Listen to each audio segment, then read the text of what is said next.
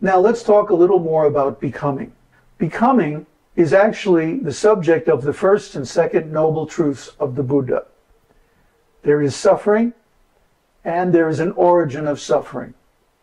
And here is the origin of suffering in a diagram of dependent origination.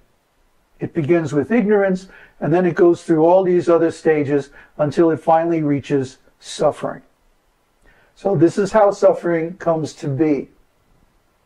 But there's also the third and fourth noble truths of the cessation of suffering and the Noble Eightfold Path, which is the method or the way to the cessation of suffering. Now, even if you don't know about dependent origination, you're actually using this all the time.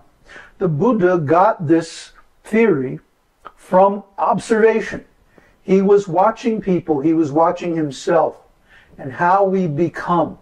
And we become something at every moment. Every moment this process is going on on different scales. Sometimes it can happen in a matter of microseconds. Other times it can happen in minutes or hours or days or weeks or maybe even many lifetimes that we go through these different stages and we become different things according to our intentions. There is a law, the law of dependent origination, the law of kamma or karma. And this is how that law works. It doesn't require some external authority, uh, like a God who looks over your shoulder every minute and writes down whatever you do.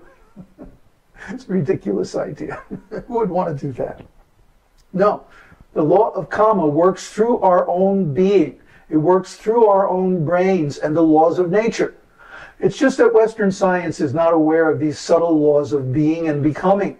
If it were, then we could easily turn this into a very scientific theory and prove it, which actually the Buddha has already done.